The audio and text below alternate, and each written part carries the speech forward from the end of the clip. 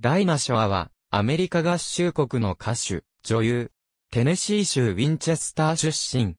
1950年代から1960年代にかけて、ザ・ダイナ・ショアショーなどのテレビ番組で多大な人気を博す。後年には、女子プロゴルフの発展にも貢献し、1994年に世界ゴルフ殿堂入りをしている。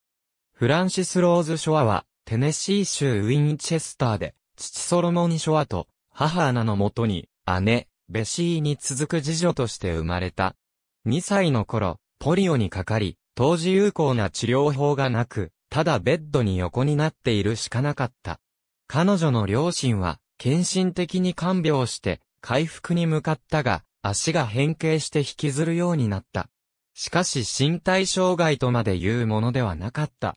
幼少の頃から歌うことが好きで、コントラルトのオペラ歌手を目指していた母親が彼女を勇気づけた。父親は自身が経営する店に彼女をよく連れて行き、彼女は客のために即興で歌っていた。1924年、一家はテネシー州マクミンビルに転居し、父はデパートを開業した。5年生の時、一家はテネシー州ナッシュビルに転居し、彼女はここで小学校を卒業した。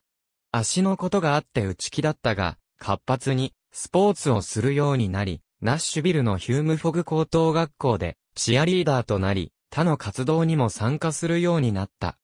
14歳の時、唯一両親がそばで見守ることができるナイトクラブで、失恋や片思いの曲を歌う当地シンガーとしてデビューし、両親は彼女の演奏時間の少し前にこっそり席についていた。当時の彼女の給料は10ドルであった。彼女がここでの演奏をやめることになった際、プロになることは一旦とどまらせた。16歳の時母親が心筋梗塞で突然亡くなり、彼女は学業に専念することを決意した。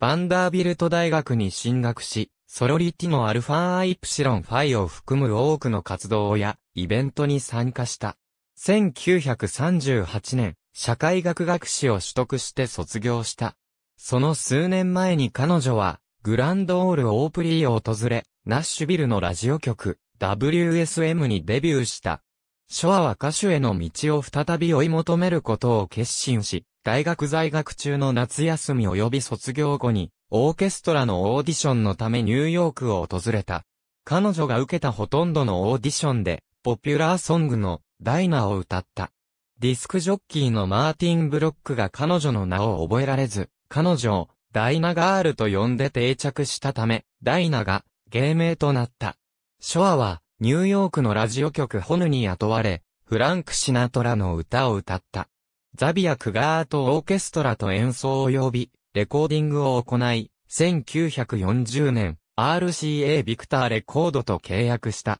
ありがとうございます。